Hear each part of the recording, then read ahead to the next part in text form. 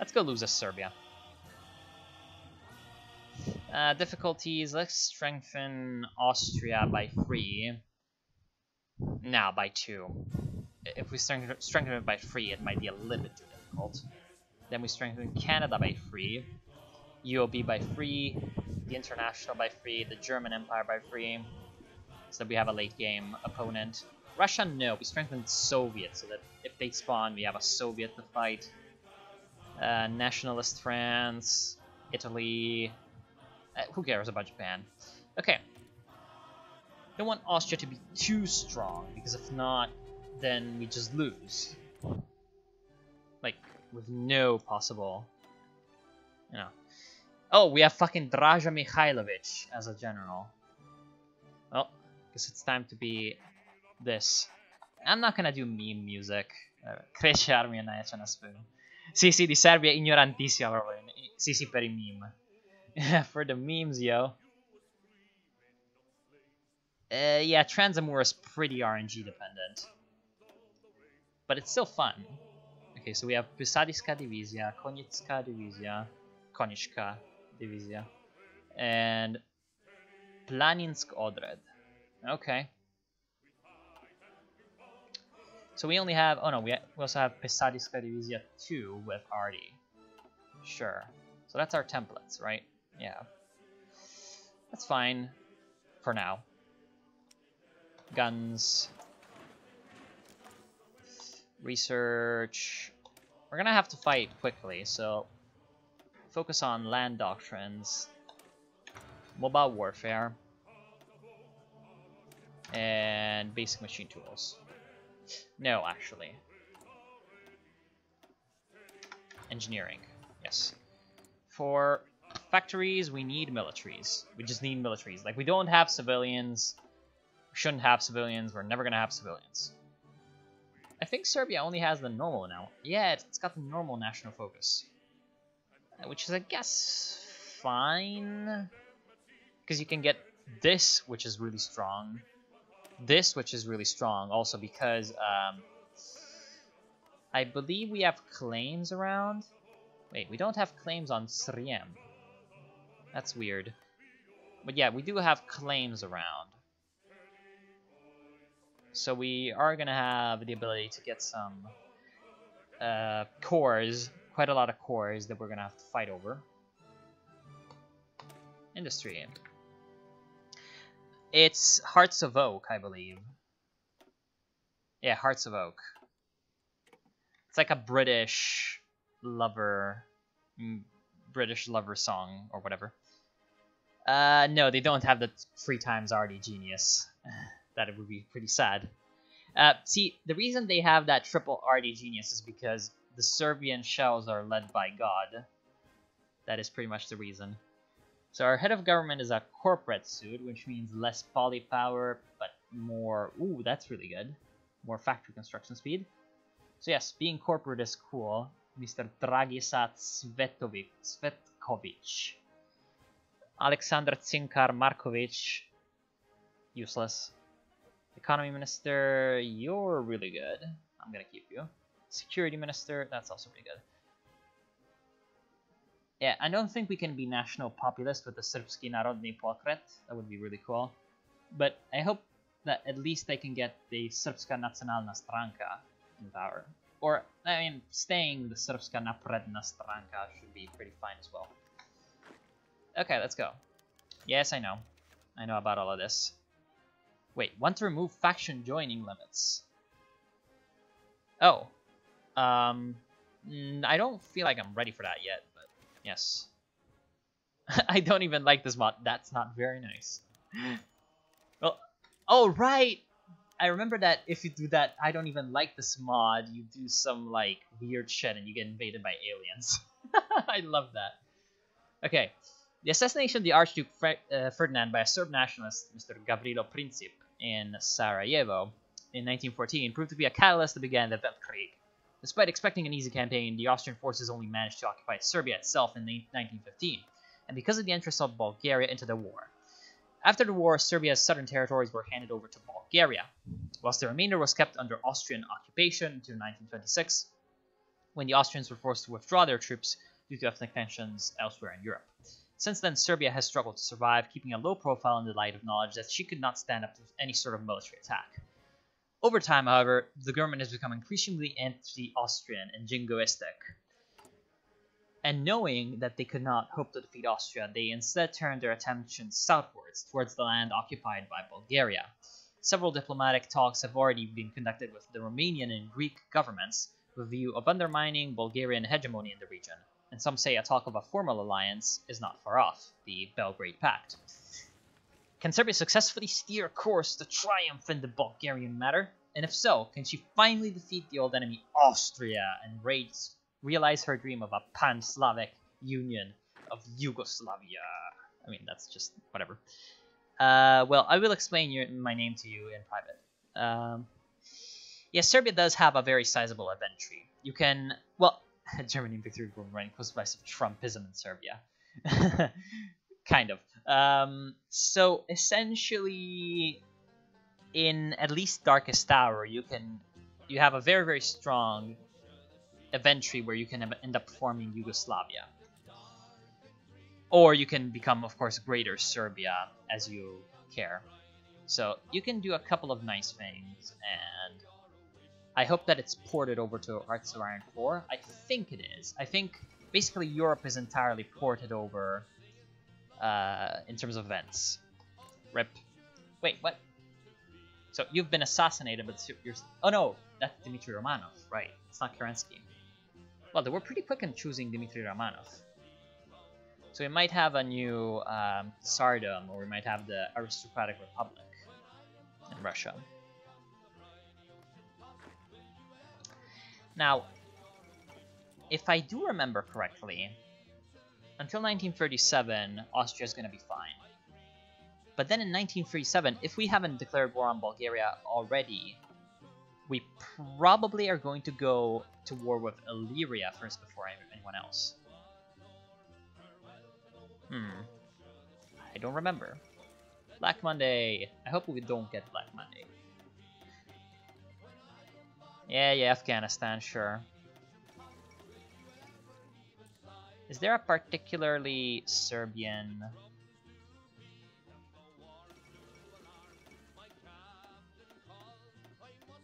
Uh, there's no particularly Serbian icon.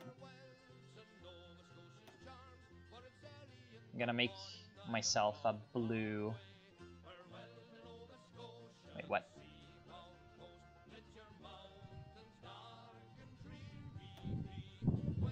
Let's be a blue thing. A blue cross of doom. Because we all know crosses are the best symbols, right? German Empire? Right? Right? Fucking... Well, you don't have a cross. right, Mr. Pope?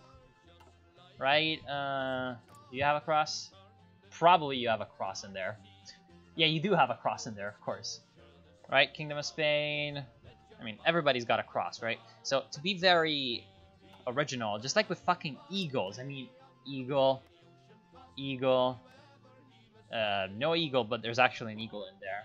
Eagle, eagle, Probably eagle in here too. Yeah, look at that eagle. Eagle with a cross. Yeah, we just have to be very, very original because we're Serbia.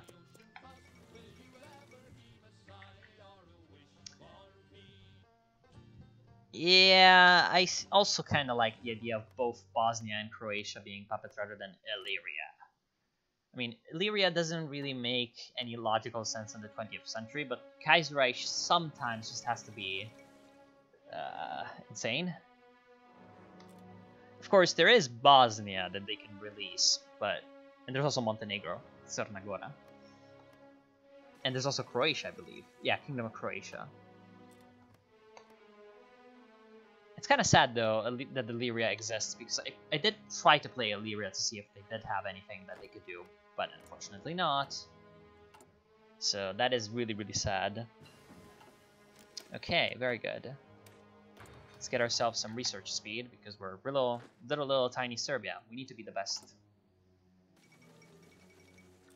Really? Is that the guy with the glasses? Oh no! It's the girl. So you're a syndicalist. fine. Uh, finally, no autonomists in the UK. Well, not the UK, the UOB. I really don't like it when the autonomists happen, and they do. A... Is this new? I think some parts of this focus tree are new. That's cool. And yeah, you're gonna die, Mr. Ma. Yeah, Kaiser really likes the hipster nations. No, don't crash. Don't crash, Pablo. Like, look at this shit. So, Kaiser number one has White Ruthenia with this guy in charge, and United Baltic Duchy with this Hitler stashed fellow as well. So, hipster nations all abound. Then Flanders Wallonia, Jesus Christ, and then they have like the kingdom of they can have the kingdom of Somalia be their puppet, which is also pretty hilarious. Then they have Hermann Göring in fucking Nazi Africa. They have the Corporation of China. Yeah, in general, the German empires just have hipster countries because also then Galicia fucking Lodomeria for Austria. So they just really like to be they just really like to be hipsters with their puppets. And also, Austria is becoming social democrat, which means that I must destroy it. Because nobody likes social democrats. What can I do? Uh, engineer companies wouldn't be bad. But, at the same time, I feel like I need construction. it, is a plausible insanity. And Hearts of Iron 4 is a meme. Oh, you mean like Hearts of Iron 4 Kaiserreich is a meme bait? Well, I mean, no. To be fair, like, most of this is based off of the DH1, so it is still decently plausible. But some of it is pretty memey, of course. Uh, I mean, if you go to the subreddit for Kaiserreich, you know how meme lordy these people are. Wait, still have a free military factory. Well, let's just produce guns. And oh, oh, it's Dzerzhinsky, of course. So we have fucking Iron Felix in charge of the Polish Socialist Republic. I am sure that this will. Wait, what? What are you talking about? You're a socialist republic. Why no eternal regency? But why eternal regency though? I'm guessing this victory of the people is going to uh, yeah, it's gonna remove that. Okay, never mind. And Revolution is Siam. Really? What was this? So, a clique called People's Party of Officers and Intelligentsia.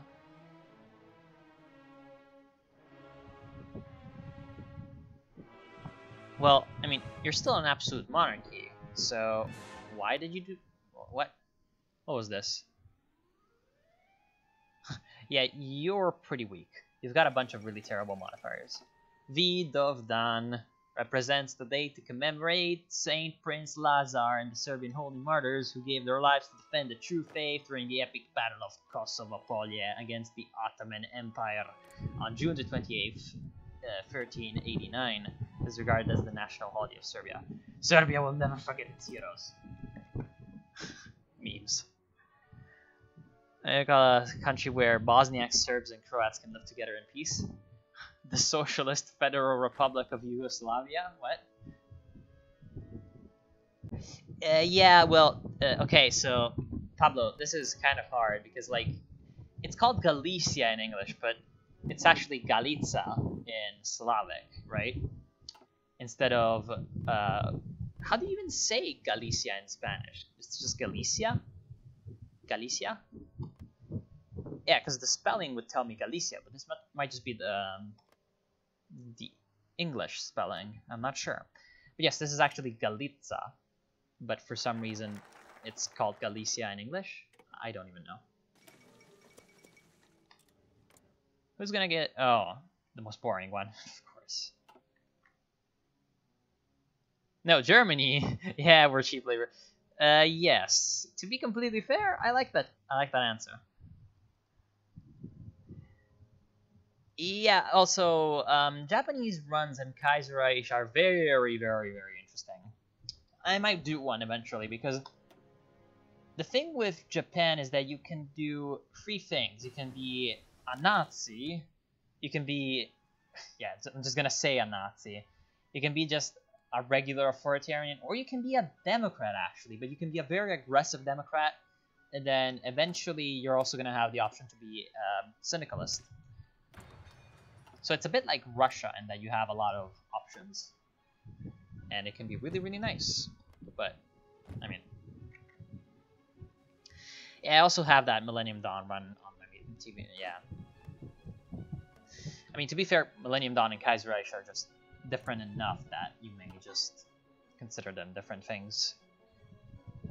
Especially since the starting position is so much different. I mean, Japan and Millennium Dawn is just this, literally. Oh, really? The anarcho-syndicalists? Wait, why is Togliatti still around? I thought that if the radical socialist one... Oh no, that actually they got an anarcho-syndicalist. Right, never mind. So that's Togliatti, that makes a lot of sense. Okay. So, two middle-of-the-road options for the Italies. Nothing weird coming out of there. Hmm, being the leading power in the Second Entente as Japan. Yeah, that that's an interesting little... Because you can join the Entente, I think. I'm pretty sure you can become part of the Entente. I mean, you could in DH, so I'm assuming that you can. I mean, you, you can create your own faction, of course, but... Yeah, I'm pretty sure that you can somewhere. Anyway, whatever. Okay, uh, so we have enough world tension to become early mobilized. I think I'm gonna do that. I do have ways to do other things, but...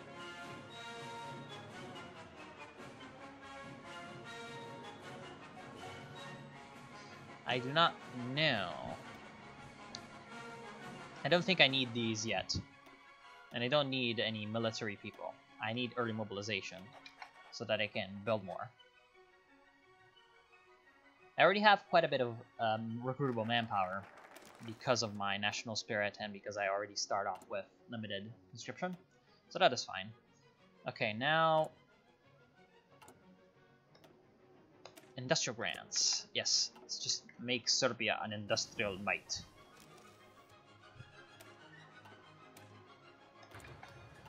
If we make Serbia strong, it will be time for Serbian revenge. Okay, you're about to join the Barafia commune, I think. And whoa, whoa, whoa, whoa! Fucking glorious Afghanistan is still alive in October. So they've been going at it for like seven months. The opening of the new parliament building. Construction of a new parliament building started in 1907, with the cornerstone being laid by King Peter I. Uh, you, right? Or maybe this is... Uh, this is a military commander. Region of Serbia. Okay, never mind. Uh, I'm retarded. Petar Bojovic. Fine. Uh, the Weltkrieg delayed construction. Yeah, if your country is invaded, I don't think you can build a parliament. Uh, and the original plans to the building were lost, but the reconstruction of the plans were made by Pavle Ilkic. The interior was designed by Nikolai Krasnov in the matter of academic traditionalism. The construction of the building was recently completed, and the first session of the new in the new edifice is about to be held. It's beautiful. Zdanie.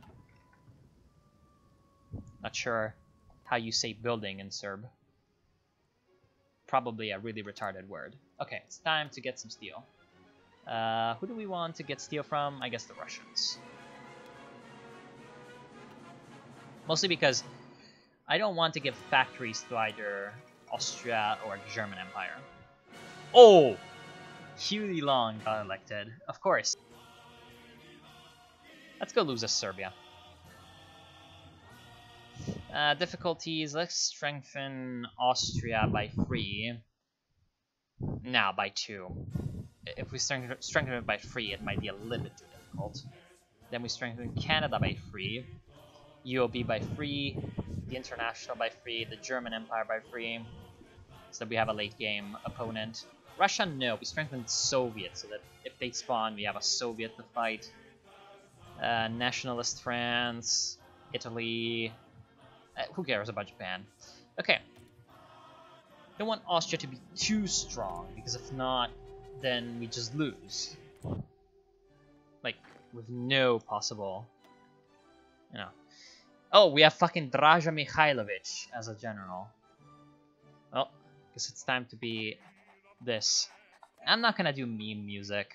Cresce armi e ce ne Sì, sì, di Serbia ignorantissima proprio. Sì, sì, per i meme. For the memes, yo. Uh, yeah, Transamur is pretty RNG dependent. But it's still fun. Okay, so we have Pisadiska Divizia, Konitska Divizia, Konishka Divizia, and Planinsk Odred. Okay. So we only have, oh no, we, we also have Pesadiska Divizia 2 with Artie. Sure. So that's our templates, right? Yeah. That's fine for now. Guns.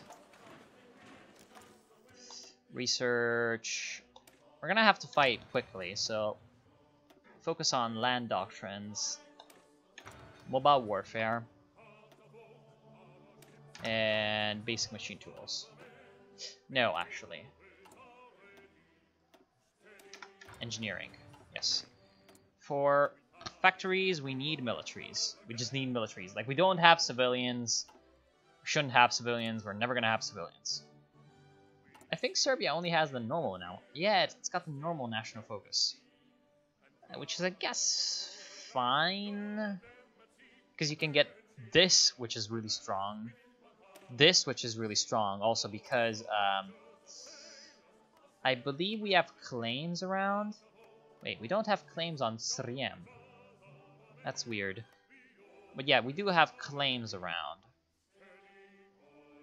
So we are going to have the ability to get some uh, cores, quite a lot of cores that we're going to have to fight over. Industry. It's Hearts of Oak, I believe. Yeah, Hearts of Oak. It's like a British lover, mm, British lover song or whatever. Uh, no, they don't have the three times already genius. that would be pretty sad. Uh, see, the reason they have that triple RD genius is because the Serbian shells are led by God. That is pretty much the reason.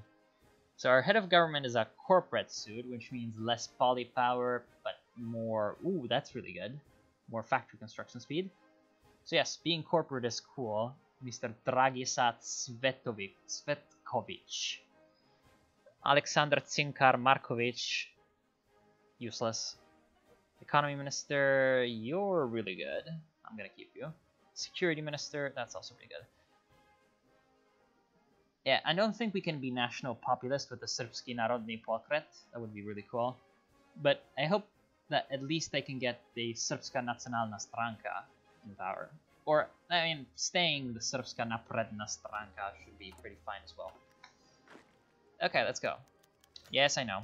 I know about all of this. Wait, want to remove faction joining limits. Oh. Um, I don't feel like I'm ready for that yet. But yes. I don't even like this mod. That's not very nice. well, oh, right! I remember that if you do that, I don't even like this mod, you do some, like, weird shit and you get invaded by aliens. I love that. Okay.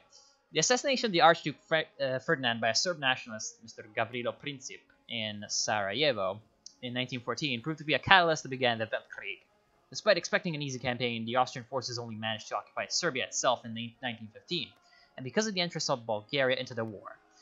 After the war, Serbia's southern territories were handed over to Bulgaria, whilst the remainder was kept under Austrian occupation until 1926, when the Austrians were forced to withdraw their troops due to ethnic tensions elsewhere in Europe. Since then, Serbia has struggled for a goal against Argentina, regardless of that. And we're up to the best war ever, Haiti and the Dominican Republic, of course. Oh, you have the spirit of freedom! Yes, of course. The spirit of freedom guides you. Long live the United States. Let's do national infrastructure, and then we can do the land doctrine. Is Storklord going to the extreme lengths of security by turning into a bear and killing people? Okay, now we have lots of guns. We can start recruiting people. In fact, I'm pretty sure I should have done that from the start. Let's recruit some people. Uh, we don't actually have the manpower required to recruit people. So at this point, what I should do is like do this. Uh, let's get some tungsten somewhere. Portugal. Give me tungsten. So, so that we can turn everybody into a decent division.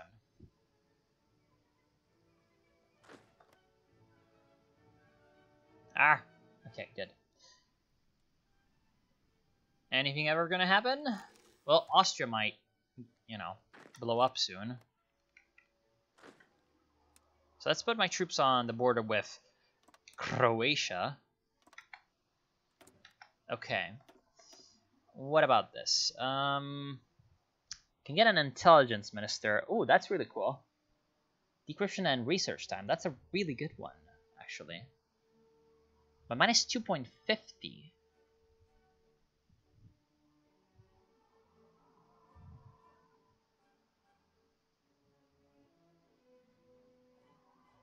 Strategic bombing.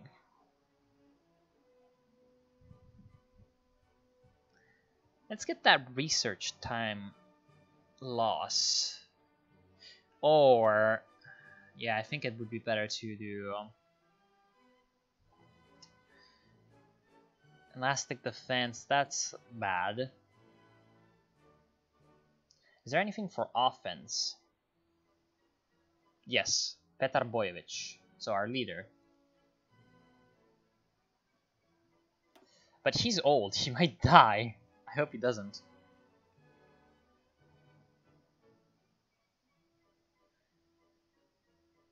School of Mass Combat, that could help. But yes, first let's go for decisive battle. Because if we do go to war, we're gonna need as many bonuses as possible. Because we're really, really, like, not strong. I mean, of course, Croatia is not strong either, but their overlords are. I mean, oh, yes. I mean, I never see them win, but it's always cool that they try. Go, go, South Korea. Oh, South Korea. Korea.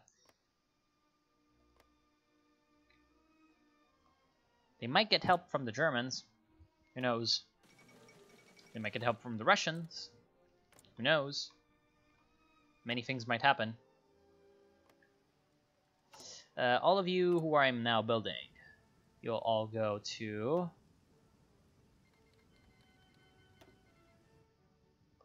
Draža Mihailovich. And there's a war. So what's actually happening? Well, oh, MacArthur happened, of course. So MacArthur is pretty glorious. It looks like he's going with the aggressive one. Yep, he's going aggressive. So he might become the American Caesar this time. And Pacific States of America. And